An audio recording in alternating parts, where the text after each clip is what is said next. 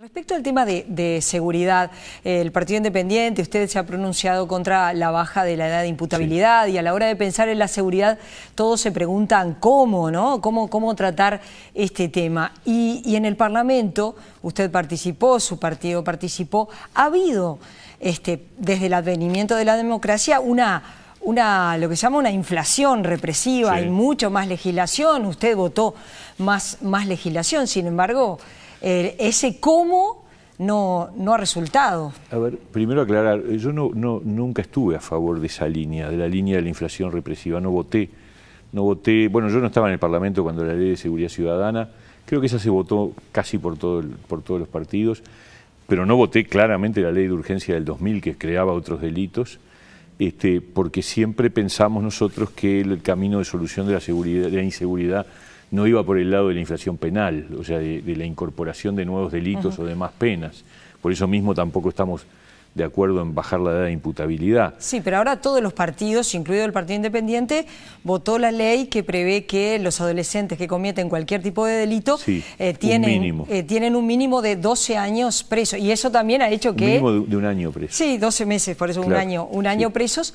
Y eso también ha significado para el sistema eh, que explotó, ¿verdad? Decir. Son, no, la razón por la que explotó el sistema es una razón muy positiva, que es que no se fugan no, bueno, pero había 300 y ahora hay más de 700. Claro, porque, porque no se escapan. y además porque cualquier delito que cometen están un año presos. Pero el problema que teníamos, en, 2009 hubo 1.300 fugas en el año. Y había sí, hoy hay cero fugas, sí. Cero fugas, 2014 cero fugas. Eso es muy importante, muy positivo un logro, Es un logro este, como debe ser, digamos, pero, pero teníamos una situación terrible. Entonces, eh, el tema es que además de que no se fuguen, hay que tratarlos bien y ahí tenemos problemas, ¿no es cierto? Ha habido denuncias muy graves. Y además de tratarlos bien, no pueden estar hacinados y además hay que darles la oportunidad de la rehabilitación. El tema es que el Parlamento primero votó y tener este, un año tenerlos encerrados. No, pero tener un año mínimo yo creo que es una buena medida porque significa un tiempo para la rehabilitación.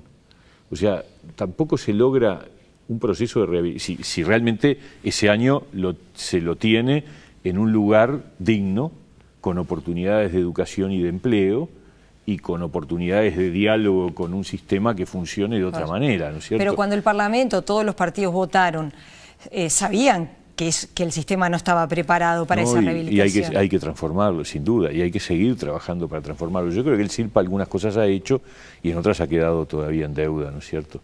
Pero el camino ciertamente no es, en ningún país del mundo ha funcionado con el aumento de la represión. La clave, la clave es, la policía.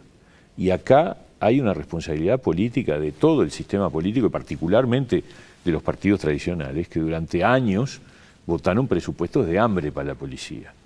Y, como la policía ganaba sueldos de hambre, le inventaron el servicio 222 que lo que hizo fue perjudicar aún más la situación del policía que pasó a, a trabajar en vez de 8, 16 horas diarias la mitad del tiempo como guardia de seguridad privado, no se invirtió en armamento, no se invirtió en capacitación, no se invirtió eh, eh, en, tecnología. Tuvimos durante dos décadas una policía que fue perdiendo profesionalismo, perdiendo acumulación, generando un debilitamiento y en paralelo tuvimos una crisis de la integración social, una crisis de la educación.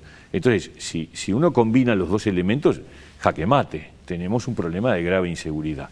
Creo que en este periodo de gobierno, en base a un acuerdo multipartidario que nadie recuerda, porque hoy el tema es la guerra. 2010. Claro, hoy el tema es la guerra por el tema de la inseguridad, es una bandera de campaña. Nosotros hemos tenido una actitud distinta, nosotros no hemos pedido la renuncia de Bonomi, no nos parece bien que Vázquez anuncie que lo va a mantener, pero tampoco nos, parecía bien cuando blancos y colorados pedían la renuncia a mitad de periodo, porque entre otras cosas en, este, en esta administración se impulsaron cosas que fueron resultado de los acuerdos multipartidarios. En materia de, seguridad se acordó mejorar sustancialmente la remuneración policial, se hizo. Reducir el servicio 222, que era nefasto, se hizo. Eh, empezar a trabajar en, el descongestionamiento de las cárceles, se está en, ese proceso. Entonces son cosas que se han avanzado. Yo creo que hay otras que están pendientes. Yo creo que la policía sigue sin avanzar en una, en, un, un, en una solución de distribución en el territorio que sea mejor. Ahora, resolverlo mediante la baja de la edad de imputabilidad es, vender un verso. porque es inútil.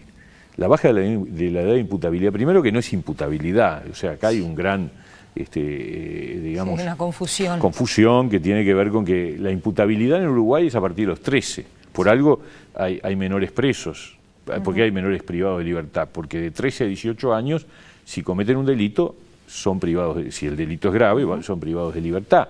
Entonces, eh, el, tema es bajar, en todo caso, la edad de responsabilidad penal adulta. Y, la verdad, cuando uno mira los números, eh, el 6% de los delitos son cometidos por menores. El 5% de las personas privadas de libertad son menores. Entonces, a mí que me expliquen cómo, porque yo le cambio el estatuto jurídico a los de 16 y 17 años, eso va a tener impacto en la seguridad. Es un disparate.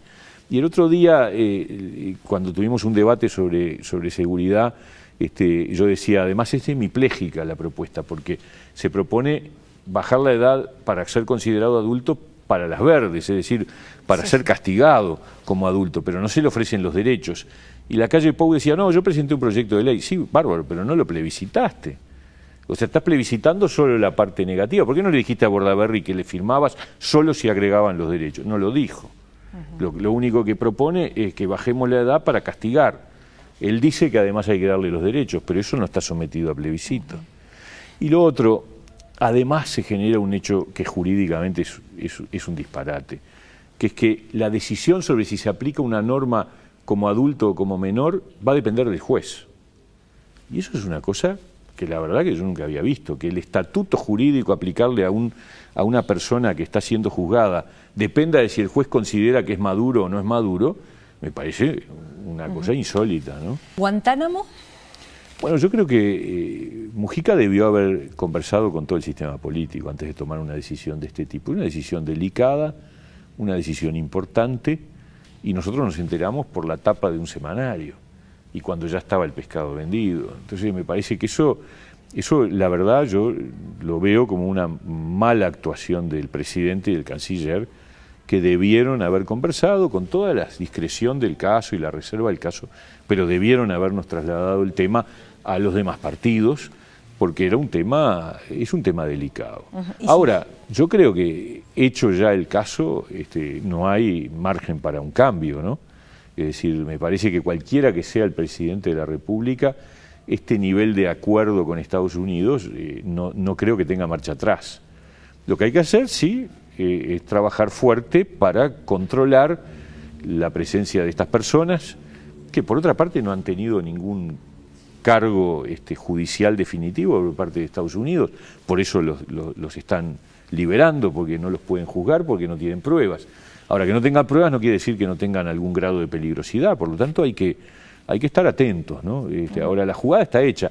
A mí me parece que Mujica nos ha metido en dos o tres bailes que están más vinculados a su afán de protagonismo internacional que a los intereses directos del país. Creo que lo del Guantánamo, lo de los niños sirios y, lo de la marihuana eh, eh, fue más parte de, esa cosa de, construir el Mujica Superstar a nivel internacional y nos compramos algunos líos que no sé si nos teníamos que comprar. Gracias por haber venido esta noche. ¿eh? Un gusto grande.